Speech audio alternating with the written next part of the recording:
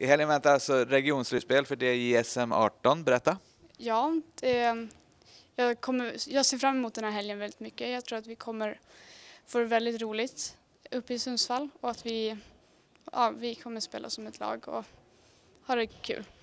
Ni har ju två tuffa motståndare där direkt. Berätta.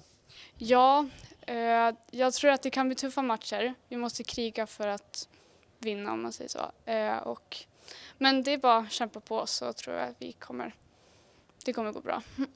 Vilka styrkor ser du i ditt lag? Eh, vi har väldigt roligt tillsammans. Eh, vi, vi spelar ju som ett lag och vi, har mycket, vi tycker vi har mycket boll. När vi, vi spelar bra när vi väl börjar spela. Liksom.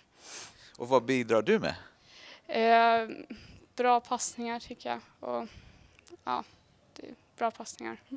Det är som sagt eh, tuffa matcher som väntar. Vad tror du kommer krävas för att ta sig vidare?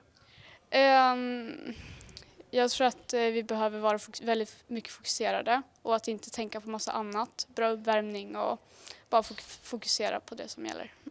Och vad ska publiken i Sundsvall förvänta sig av Storvreta? Um, mycket mål hoppas jag och um, glada spelare.